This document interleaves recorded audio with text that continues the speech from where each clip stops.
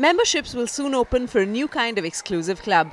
Lodha developers' most ambitious project till date, which, when completed, will dwarf the tallest residential building right now, the Q1 building in Gold Coast, Australia.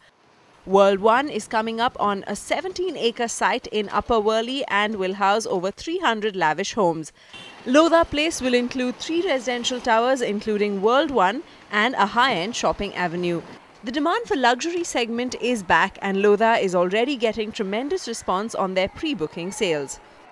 Currently, about it is estimated uh, that about 6% of Mumbai's total uh, demand is in the luxury segment, which is likely to go up to about 12% by the end by 2018. So you see that there is a, growing trend towards the more affluent uh, uh, uh, demand for housing, just as income levels are rising in the city.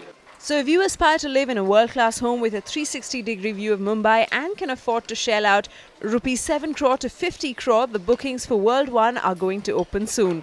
For those of you who plan to defer your home buys, do not fret. Residences in Mumbai are only going to get taller due to the space crunch.